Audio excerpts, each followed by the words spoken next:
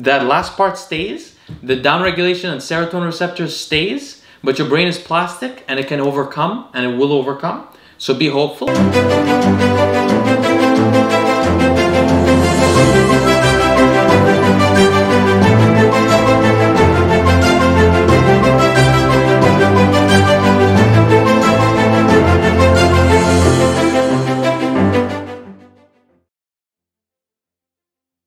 Hello friends, welcome to week 9's Q&As, joined by my lovely wife Lucie. Hi guys. Lucie will be asking me more of your questions. Let's do the last one. The next one is by Bryce Broden. He asks, how do androgen, AAS, SARMs, pH affect the brain? Are the changes in the brain whilst using this compound permanent? Thank you Lucie, and thank you, his name's Bryce?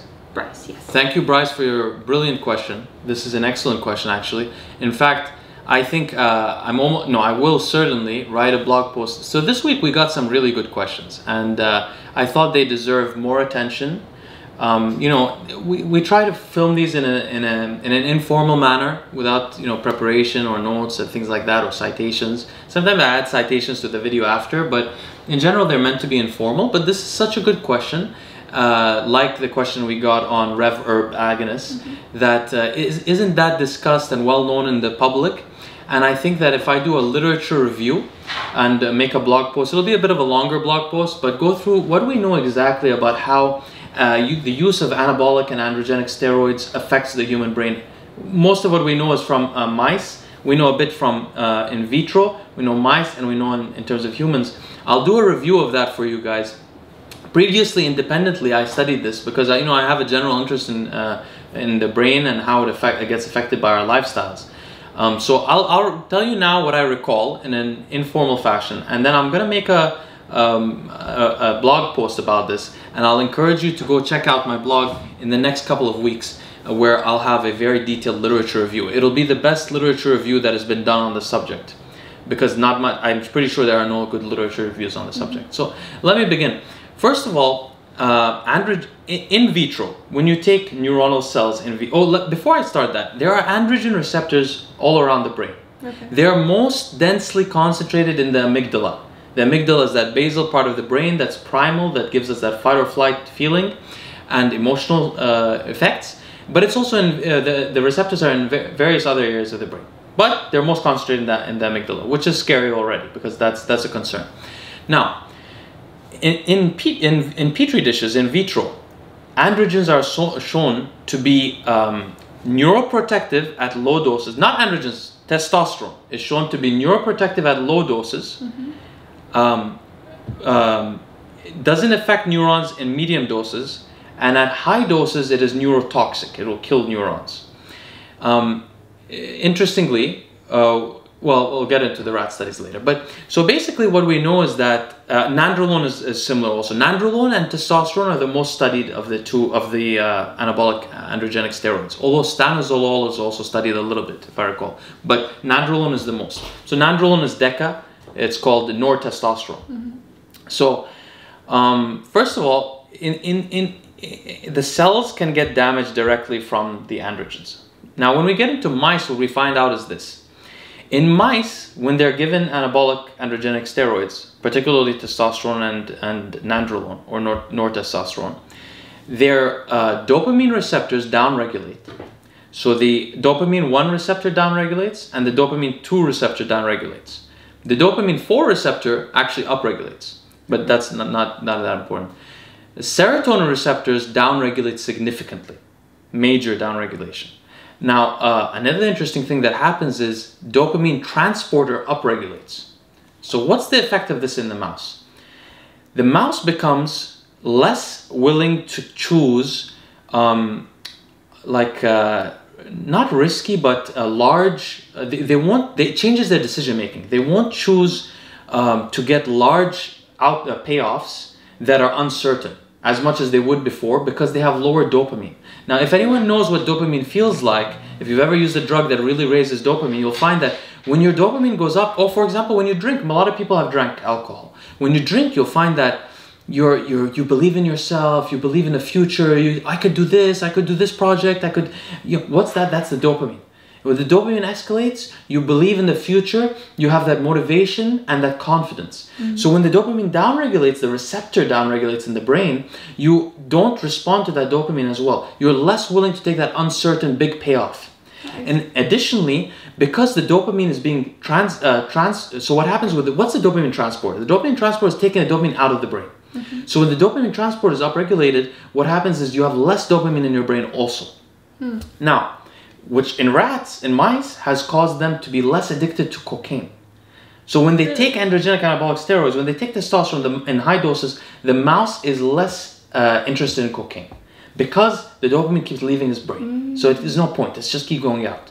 Um, now the serotonin effect on the mice seems to be that when the serotonin is down, the receptor is downregulated, the mice. This seems to be the reason that the mice are more dominant and less um, less submissive and more like uh, confrontational or violent. So, for example, interesting thing when they give mice uh, high doses. By the way, all of this that I'm talking about is in doses that are equivalent to what humans would take. So imagine like 600, 700 milligrams of testosterone a week. Uh, even in the petri dish one, the one I'm talking about that causes neuronal death in the petri dish is at levels that would correspond to what humans take. So, uh, so what happens with mice with the serotonin is this: if the mice are given um, um, testosterone in adulthood, they exhibit this dominance characteristic and the violence and that stuff like that. When the testosterone is removed within a couple of weeks, they become submissive again and normal. However, the mice that are given the testosterone in adolescence before they reach uh, maturation, they remain dominant even when the testosterone is removed from them. There's a permanent change. And an interesting thing also, which is a danger now of taking anabolic steroids when you're younger. Another another interesting thing is this: um, the serotonin. There are so those mice that adapt and become submissive or playful again and not violent. The interesting thing about them is their serotonin receptors never recover. So they remain downregulated. But what happens is they change their behavior through plasticity. The brain changes its behavior, but the receptors themselves are still downregulated. So, so this is what uh, academics were postulating.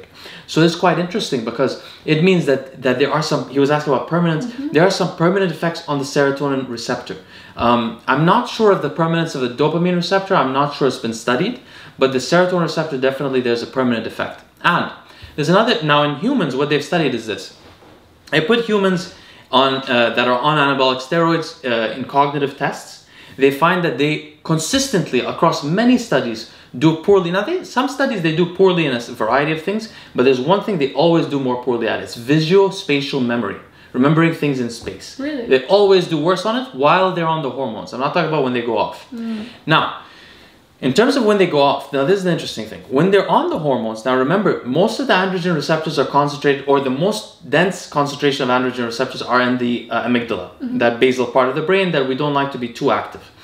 Now, I'll tell you guys something you may not know about cognitive psychology. What we find is that people who have anxiety sym- symptoms, people who have um, a lot of rumination, uh, a lot of anxiety, not able to calm down well, they tend to have the amygdala is disconnected from other parts of the brain in communication. If you look in a fMRI scan, you find that the, there's not much activity going between the two, right? So interesting thing about the uh, adult steroid users that they had their brain scans is that their amygdala is not connected well to their default mode network. The default mode network is the network of your brain that happens when you uh, think throughout the day. It's your stream of consciousness. So, you know, when we meditate and we have these thoughts coming into our head, that's the default mode network. We're trying to recognize those thoughts and not engage with them. That's us trying to uh, take that default mode network out of dominance over the brain. But these people that are on testosterone or under, uh, anabolic androgenic steroids in general, they find that they are um, uh, they have a disconnect from the amygdala, the primal part of the brain, to the intelligent default mode network, which is throughout many areas of the brain. Now, this disconnect goes away when they go off hormones. So this is fine. The problem is that there's also a disconnect between the uh, the uh, DAN, the attention network, and several other parts of the brain. That that disconnect remains there after they stop using hormones. So they have a problem with attention, with regulating executive functions after they stop using hormones. This one appears permanent, as Wow. much as it's been studied. So there are permanent changes to the brain. Now, an interesting thing is the the effects of testosterone in mice. I have to go back to mice for a second. The effects of testosterone on on um, on brain health of mice, which is negative, which has a negative effect. It it, it happens. So it happens at medium and high doses of testosterone, but it happens at all doses of uh, nortestosterone, DECA. Okay. Uh, DECA, DECA at all doses is neurotoxic to them. Now, we talked about neurotoxicity in, in vitro before, but I didn't talk about neurotoxicity in mice. We don't have the data on humans. I have never seen it. Maybe I, when I do my blog posts, I'll, I'll research if anything's happened in the last couple of years. But um, in mice, uh, there is a neurotoxic effect for testosterone when it's at a medium or a high dose, but not a low dose. And interestingly, if you com- if you add an aromatase in- inhibitor, which is the thing that stops testosterone from converting into estrogen, it is neurotoxic at all doses for the It's testosterone. neuro- Yes, actually, uh, sorry, I made a mistake.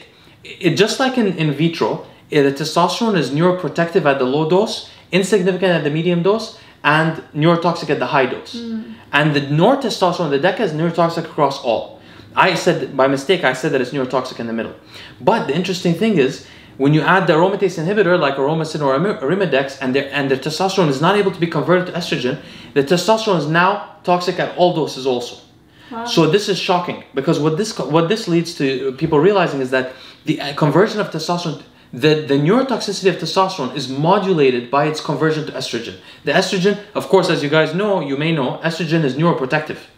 So one of the reasons that people think that people, women get Alzheimer's more than men, is the fact that they have a protective estrogen throughout their life on their brain, and suddenly in menopause it's gone. So it can't protect the brain from the damage that's occurring from the amyloid plaque and so on. So estrogen, as you guys you guys should know, is neuroprotective, but uh, when you when you add that aromatase inhibitor, the testosterone then becomes neurotoxic. But the nortestosterone is neurotoxic throughout, and the effect is not changed when you add the the uh, aromatase inhibitor. In fact, I believe the study that I'm thinking about also tested stanozol- stanozolol, and stanozolol was also neurotoxic across all doses. So let's summarize. Uh, I mean, of course, the blog post will be detailed and it will be the best review on this subject. I believe that there hasn't been a good review and I'm motivated to make a good one.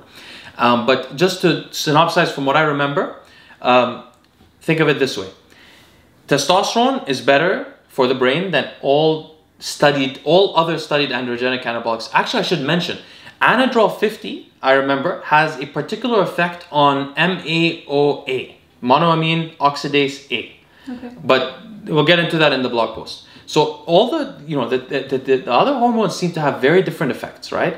Um, the most the, the best effects that are, are gotten are by testosterone without an aromatase inhibitor.